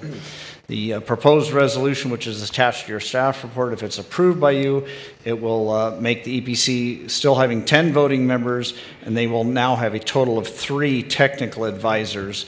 Uh, One is uh, specializing in medical, one is specializing in earthquakes, and one in cybersecurity. Uh, The medical advisor's position is technically being redesignated or reclassified as a technical advisor. So 10 commissioners, three technical advisors with those specialty fields. So with that, Mr. Mayor, I will turn it back to you and be happy to answer any questions. Thank you, Brett. And the three advisors are non-voting again. I'll just That is repeat correct, that, Mr. Mayor. Correct, so everybody's aware. Is it All going to be three? Three advisors, is that what you're saying? Three advisors, non-voting. So we're increasing it by one more tech, who has been on the commission before. He's just coming back. All right. Mr. Mayor, can you say that again? Uh, Mr. Mayor, say it again. Let me see. And with gusto. I can say it in Italian if you want me to do that. Any other questions on this subject? All right. Well, just, No, just one question. Yes, sir. What, what would be uh, one or two examples of, um, what's the word I'm looking for? The ele- For the uh, the technical advisor, uh, what would be examples of the cyber attacks that uh, we might anticipate receiving? Well, he's an expert in that, and I think Iris can really fill in a little more on that. Thank you. Well, he is an expert. He's written a book and he does uh, lectures all over the country on cyber terrorism and how to prevent it, uh, how to train your employees and staff members on uh, not to open uh, items that come across your email, either on a tablet or at your business. And a lot of these, these emails that come across look very official. They've got all the different bells and whistles that uh, would make them look official. But th- he is, he is uh, trying to make sure that enough treat, uh, training gets out there uh, in the community so that people do not fall victim to this ter- terrorism. What, that is- what my question was directed to mostly is why on this particular committee, the Emergency Preparedness Commission, is his work going to be uh, in conjunction with the work of the committee? Or is it It's intended to have some wider, expansive? Well, he does appli- work with the committee, he does give lectures, and he does lecture at our library every year uh, in our town hall forum. But he's going to, for all intents and purposes, he's a member of that committee to advise that committee. Is that right? Mr. I don't know if you would Mr. Hobart, actually- there's not a separate committee. They're just three technical advisors. They, s- they serve on the commission, if you will, but they are not commissioners, they're non-voting. And they're just, like I say, one of them is Dr. Maletti. He's, he's very knowledgeable about earthquakes and the sociology behind them. So that's what he sort of consults and helps the commission. The m- current medical advisor that'll be redesignated as just another technical advisor talks about medical issues. Um, And then this position would be cybersecurity. Uh, And the, the reason they are looking at cybersecurity is because they deem it a disaster.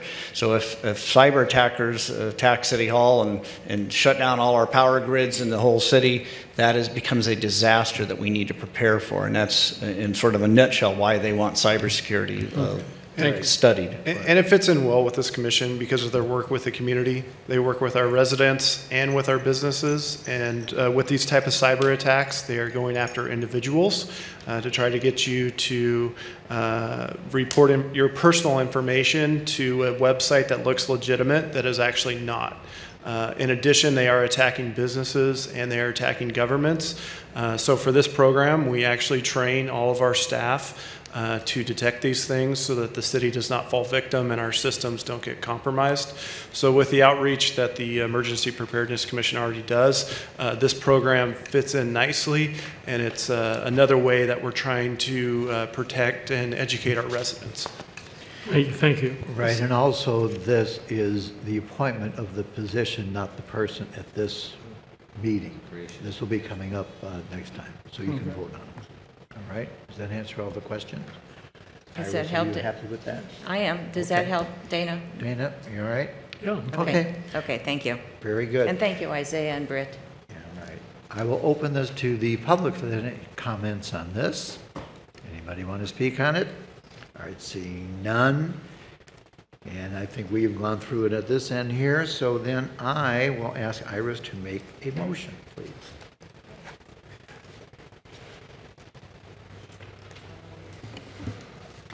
I move that the City Council approve Resolution Number 2017, next in order, adding one technical advisor position to the Community Emergency Preparedness Commission and redesignating the existing emergency medical advisor as a technical advisor.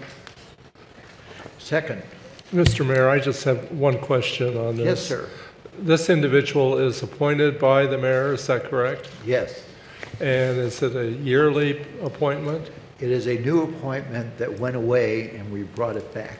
But is that reappointment done on a yearly basis? It would be a yearly basis, right? Yes. Yes. Uh, Yes, I yes. apologize. I- Normally, it's just when it becomes vacated. Uh, I don't recall in the resolution if it listed a term. If it's a, Why a wouldn't it a be- mayor's appointment, it would pretty much go along with his regular appointments. Yes. To the emergency. Yeah, I would preparedness. defer to the city attorney if it- that has to be like- like ratified every year. Uh, So when, when we uh, bring back the uh, annual appointment process, the technical advisors for this commission are listed there as well. And uh, the mayor will appoint with the consent of the city council. Uh, So annually, the full city council does see who's on the commission, and that includes the technical advisors. Right. so it would fall And that in. would be at the same time that we approve all of the commissions Yes, and the members of the commissions. Correct. Right. Okay, thank you. All right. Pot right, are we ready? Please vote. Motion passes 5-0. Thank you. Next on the agenda is number 18, which is a resolution regarding Senate Bill number 1. And Jesse Eckenrott, Senior Public Works Manager, will present the staff report. Thank you, Mayor, City Council. You may have heard that gas prices are going to be rising shortly here, and that's due to Senate Bill 1. So I wanted to give you a basic framework on Senate Bill 1 before I get into the staff report. Could you go back to the first slide, please? So, uh, Senate Bill 1 is also known as uh, SB 1. This was signed by Governor Brown in April of 2017. And SB 1 is a statewide bill, so this is going to apply to all cities and counties throughout California. Uh, next slide, please. Uh, SB 1 goals. SB 1 is very similar to Measure A. The goals of SB 1 are to improve roadway infrastructure. The additional funding that SB 1 will bring our state is des- designated for roadway improvement projects. The four main types of roadway improvement projects that SB 1 has identified are road maintenance and rehab, safety projects, complete street components, and traffic control devices. Please. So, where does SB1 money come from? Currently, our city collects existing gas tax revenues in a special revenue fund. That's what we call our gas tax fund, which is our Fund 224. And the additional increment created from SB1 revenues will also be collected in the city's existing gas tax fund. The estimated revenues from S- SB1 have already been included in our fiscal year 17-18 adopted budget, and this slide is a breakdown of how SB1 revenues are generated. And it's important to note that all of the SB1 taxes and fees are in addition to the existing taxes and fees. So beginning November 1, we're going to see a 12 cent uptick in regular fuel, 20 cents for diesel. Uh, beginning January 1, 2018, vehicle registration is going to go up between $25 to $175 per vehicle. That's based on the value of the vehicle. And July, July 1st, 2019, diesel fuel is going to go up 4% in the sales and use tax. And July 1st, 2020, we're going to see an uptick of $100 per vehicle for zero emission vehicles. So um, these are going to not only apply to the residents of our city, but this is statewide. And let's talk about where the money goes. So on an annual basis, there's $762 million uh, that's designated for various programs and agencies. Those are bulleted there. After that 762 million is dispersed to those agencies, the remaining funds split 50% to the state and 50% to counties and cities. Um, and then city funds are allocated on a population basis, so it's per capita. So that's how Rancho Mirage, um, the formula applies to Rancho Mirage on a population basis. Now, go to the next slide, please. So, how much money will SB1 bring the city? Um, the, the first year that this is going to be implemented is this current fiscal year, and it's going to be a partial year. So, the estimate is $104,000 for this year, and that represents a 25% increase in our gas tax revenue, uh, bringing the total in our gas tax revenue for 1718 to $520,000. And then 1819 will be our first full year, and the estimated revenue is $310,000. So this is a 10-year bill, um, so we should see another um, eight full years after this and end on a partial year as well. So this is a 10-year bill. And um, uh, for a full year, it's important to note this is a 74% increase in our existing gas tax revenues. Uh, so that's the basic summary of SB1 and the impacts it'll have on our city. Go ahead and shut that down. Um, so I'm going to go ahead and get into the staff report unless there's any questions on that. Okay. So Mayor and City Council, thank you for the opportunity to present to you today. The staff report, resolution, and exhibits were created to comply with the eligibility requirements of SB1. In order to be eligible for SB1 revenues, the city has to adopt a, re a, resolution at a regular public meeting amending the city's budget to incorporate the expenditures from the approved SB1 project list. The project list has to include four key elements. That is one, project description, two, location of project, three, project completion date, and four, the estimated useful life of the improvement. Uh, we're going to identify the project that we have um, designated for this SB1 project. Um, this is a three quarter mile stretch of pavement rehabilitation on the westbound number one lane of Dinah Shore between Bob Hope and Los Alamos. The project is estimated to cost uh, $250,000, take approximately three to four weeks to uh, construct, and have an estimated useful life of 20 years. Um, fortunately for us, due to the Pulte development, they're going to be doing the lane closest to the sidewalk, so we're going to piggyback and clean up the other side of the westbound um, lane. um, so by adopting and improving the resolution, the project list, and budget amendment, uh, the city will be eligible to receive SB1 revenues. That concludes my presentation, and please feel free to let me know if you have any questions. Thank you, Jesse. Anybody in the audience wish to speak on this item?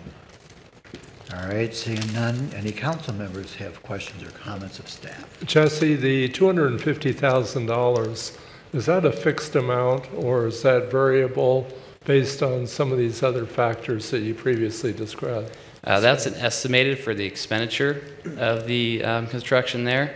It's important to note that naming the project does not mean that we have to uh, do that project. We are only eligible when we name a project. So we have to name a project, but it specifically says in the um, bill that it does not limit our flexibility. So at a later point, if we decide there's another project that we want to do, we are able to do that.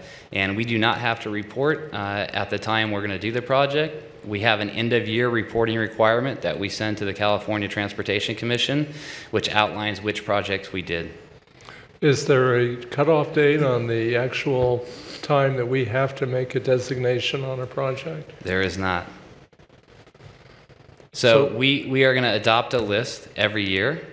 Um, there is no requirement to actually perform the projects that are on that list. It, you have to um, simply provide a list. You have to meet a maintenance of effort. And what you end up spending the money on, you have to report. And those, the uh, projects that you do have to be in compliance with the SB1 uh, regulations. Can you accumulate money from one year to the next? Yes, you can. So every agency is going to have this issue. Our first year is a partial year, so we're receiving $100,000. Very difficult or impossible to do a road project that's worth our time for $100,000. Um, so there's actually a stipulation to where you can borrow from other funds, and the um, state controller's office will reapportion what you spent. So you can borrow in advance, or you can accumulate the money and spend it one time. Okay. Very good. Sounds like a good deal, huh? That's pretty good. It's a good deal for the city. Accumulate, yeah. It- That's amazing. When you're at the pump, you might feel differently, but uh, Wow. For our roads, we'll definitely see an uptick in the uh, improvement on our roads. So this is going to be, you know, it's estimated to be $3 million over the next 10 years for our city. That's So fabulous. it will help our roads and streets. Very, very good. Any other questions? All right, seeing none, I will make a motion that the city council approve resolution number next in order, approving and adopting certain budget adjustments to the fiscal year 2017-2018 budget and approving the project listed to be funded by the Road Maintenance and Rehabilitation Program and Ordinance with Senate Bill 1, the Road Repair and Accountability Act. Do I have a second? Second. Please vote. Motion passes 5-0. Thank you, Christie. We will now recess into closed session, and with that, Mr. Quintanilla, would you please tell us about the closed session? I will, Mr. Mayor, but first, um, a general rule of thumb to prohibit or um, prevent cyber attacks is don't open any emails and the subject matter is in Korean or Russian, or it's from Nigeria. Have you done that? I'm that, serious. Steve? I'm serious. Especially the Nigeria part. Um, So the council is going to recess into closed session now uh, pursuant to Government Code Section 54956.9 regarding three potential initiation litigation items and the existing case known as Veronica Juarez versus City of Rancho Mirage. Thank you, Steve. Thank you, everyone, coming and being with us. Thank you, everybody on television, for watching us, and we are now into closed session. Thank you.